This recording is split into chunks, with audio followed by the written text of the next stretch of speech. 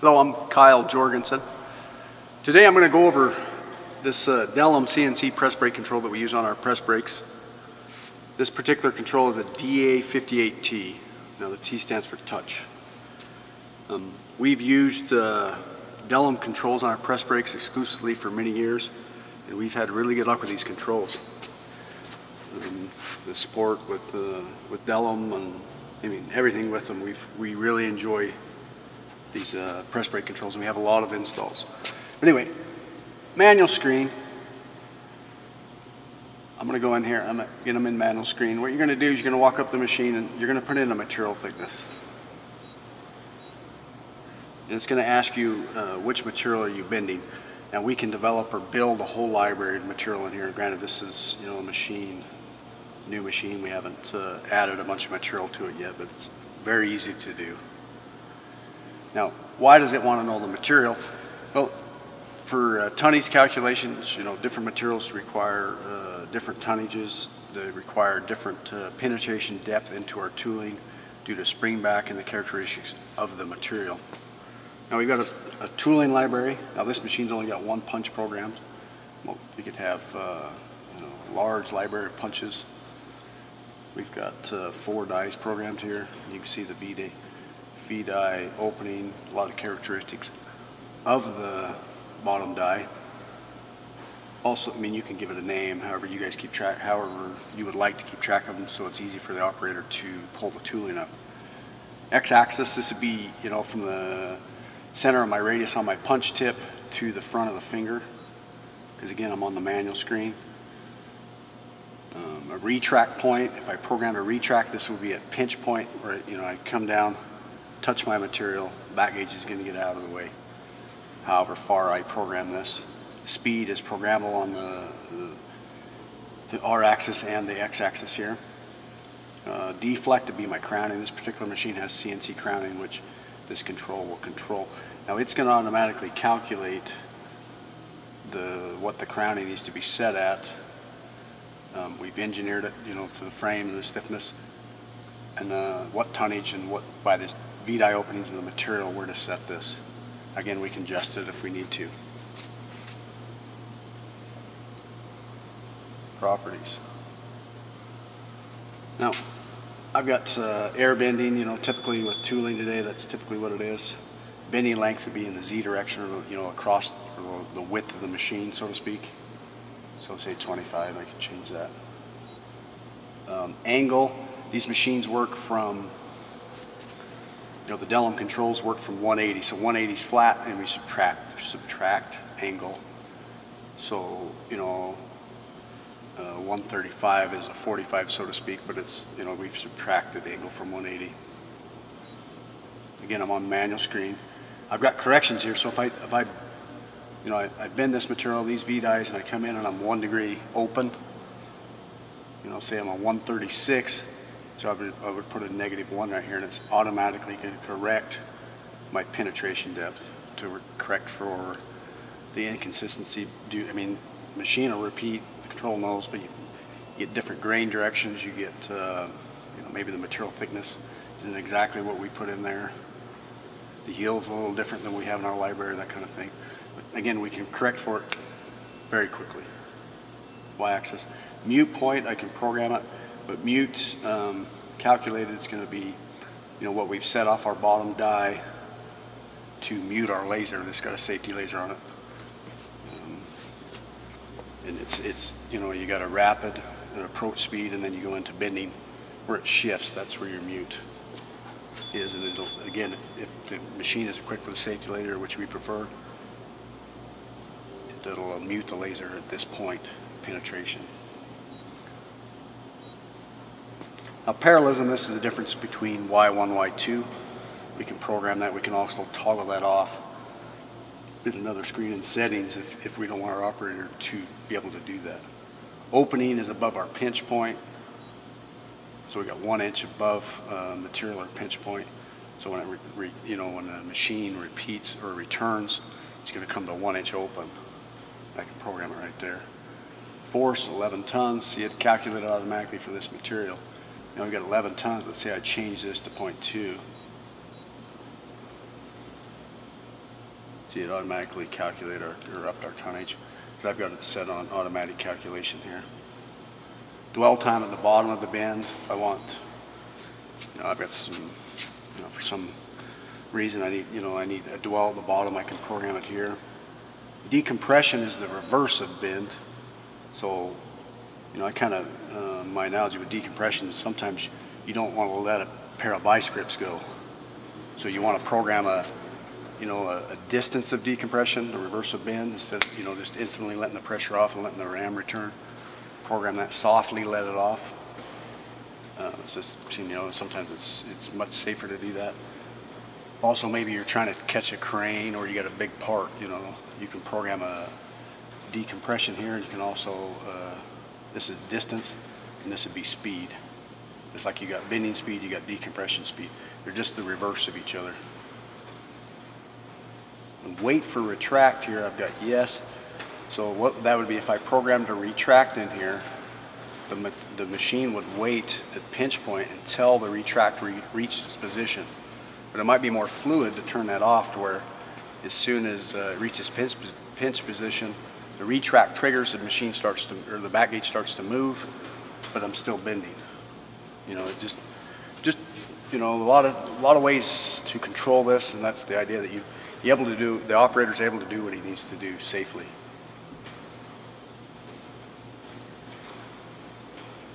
Manual position. You know, you can control axis, like say if I was here. I can slowly jog stuff in if I'm setting up or fixturing. You know, just a lot of ways to look at stuff. You got a correction table too. On that, uh, if you pull this in material and say, you know, you keep getting one degree correction on that material and you always bend it on a manual screen, it'll bring it in. Again, this is manual screen. If, you know, we, we install and train on the machine, we get, you know, operator, if we can understand this screen, we can understand the control. That's it. I mean, if you can do this, can, the manual screen, the other, uh, there's a couple different ways to program this to get more elaborate parts and stuff, but if you understand what's going on here, everything else makes sense. So I'm going to go, um, guys see, I've got, see, I've got a record function here too, we're able to log the machine, you know, and see what's going on. We can also analyze the RAM travel.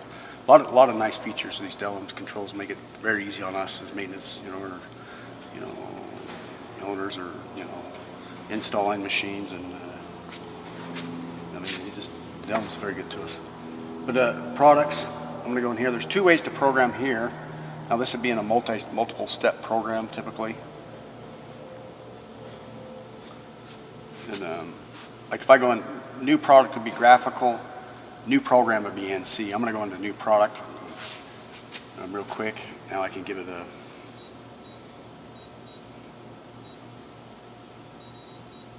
oh, any way I want to be able to recall this or save it. Again, just like on manual screen, I'm putting in the thickness. It's asking me for material. It's asking me for width. Outer dimensions. Now, outer inner dimensions depends on the part characteristics of what I care about. Um, now, calculated would be Delem's formula. Um, also, you could pull in a table. You know, we've had customers that uh, maybe for years and years they've run this part and they've calculated this and calculated that. They can pull in a table for their stretch out and for their preferred radius. Now, it's very simple to, you know, program parts for this control. Choose that.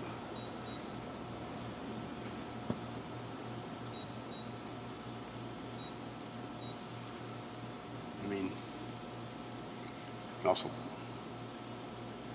pull whatever. See, you know, you're uh, it's asking me for another line. But let's say that was our part and the material thickness that I just told it. So the next setup, I'm going to pick what tools I'm going to use. It's by default, it's going to pull the tools that I used the last time I did this. Um, again, I can I can select a new die, I can select a new punch, turn a punch, depending on what I'm doing. say if I'm okay with that tooling, go to uh, bin sequence. Now the control is going to automatically um, give me a bin sequence.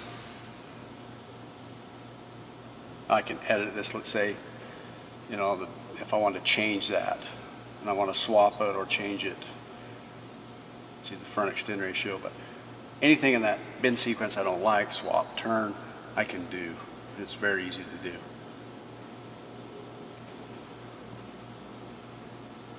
See? Just move them, shift them. If I don't like what the machine gave me.